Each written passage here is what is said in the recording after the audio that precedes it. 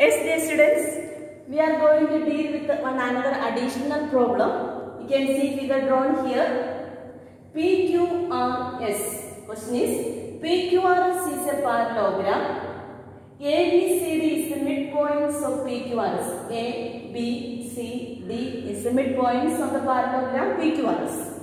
We have to prove that AB is equal to AB is equal to CD and AD is equal to BC. We have to prove.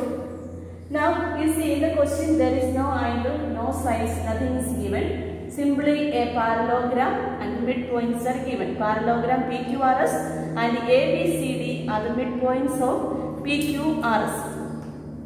So we have to find out AB is equal to CD and AD is equal to BC. These are things we have to find.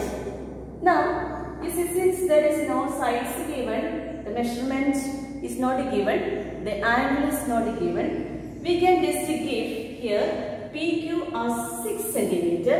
Therefore, RS will be 6 centimeter because it is a parallelogram. And here we can give 8 centimeter, both side 8 centimeter. If it is 6 centimeter, PQ is equal to 6 centimeter, PA is equal to 3 centimeter and AQ is equal to 3 centimeter. If QR is equal to 8 centimeter, QB is equal to 4 centimeter and BR is equal to 4 centimeter. Here it will be 3, 3, 4 and 4. I hope it is clear to you. This size, the measurement that is given, just we are giving only to understand, to solve the problem. It is for exam when you do, you should not write down like this when the answer paper is given. You can write it with pencil for your understanding. Afterwards, you may rub it. So, here I too have given side PS as 8 centimeter and B2 as 6 centimeter. So, here we have to find out first AB is equal to CD. AB is equal to CD. So let us consider the triangle which has AB as one side. Here we can see AQB. So we can get here AB. So let us consider triangle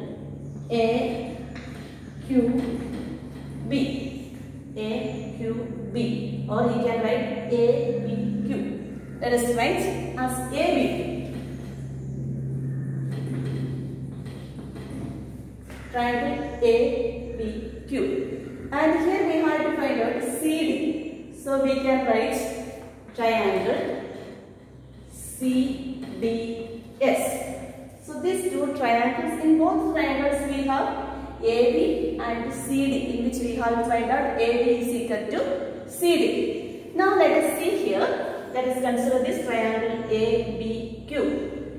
Here we have AQ is equal to 3 centimeter and QB is equal to 4 centimeter. Here we can write AQ is equal to 3 centimeter and QB is equal to 4 centimeter.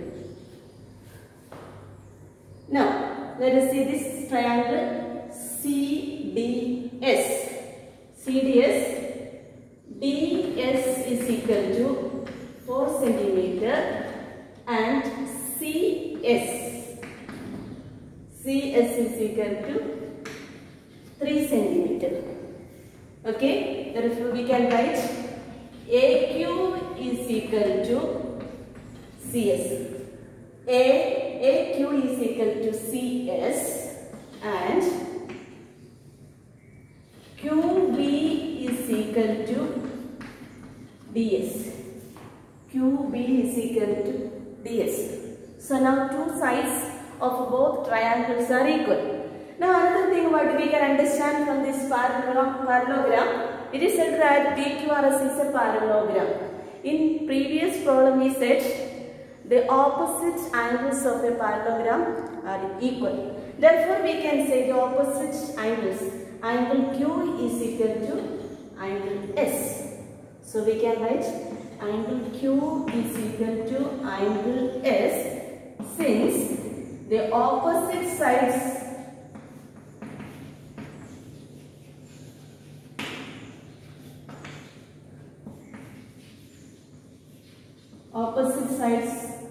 parallelogram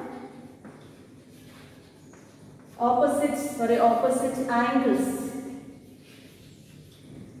opposite angles of a parallelogram equal so therefore q and s are equal now you see using the principle earlier what we have learned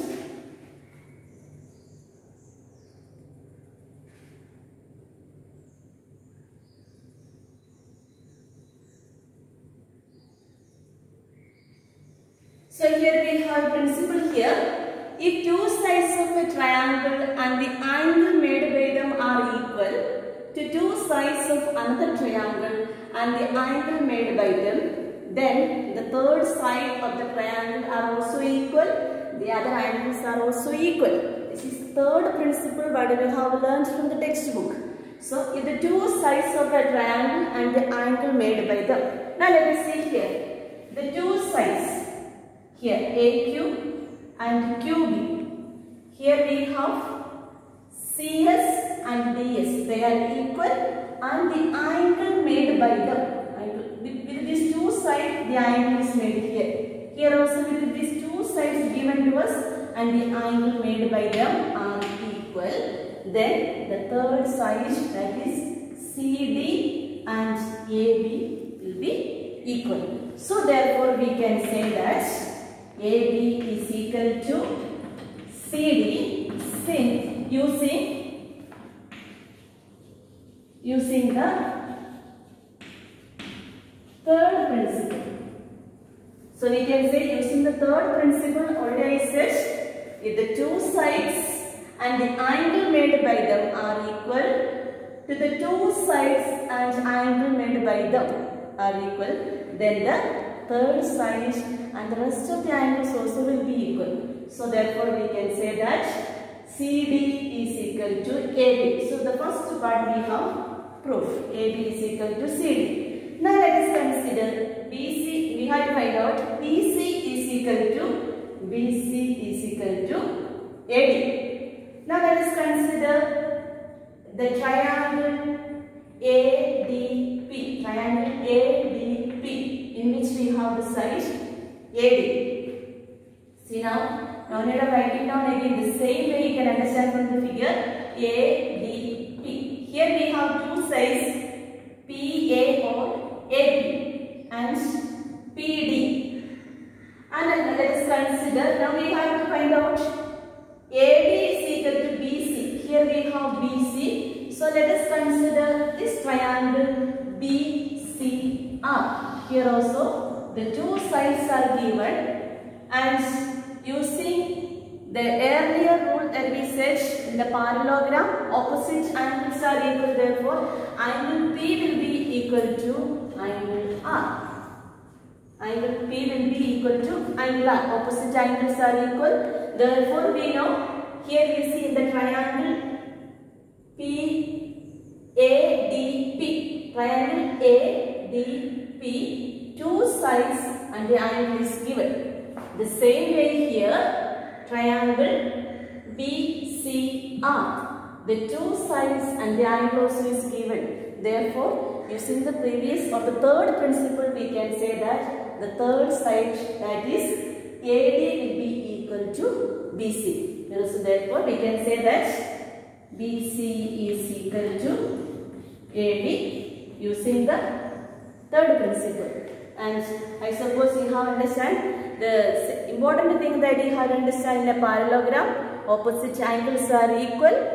And the third principle what we have learned, if the two sides and the angle made by them are equal to the two sides and angle made by them are given another triangle, then the third side and the rest of the angles also will be equal. So therefore, we have proved that AB is equal to CD and BC is equal to AD. Thank you.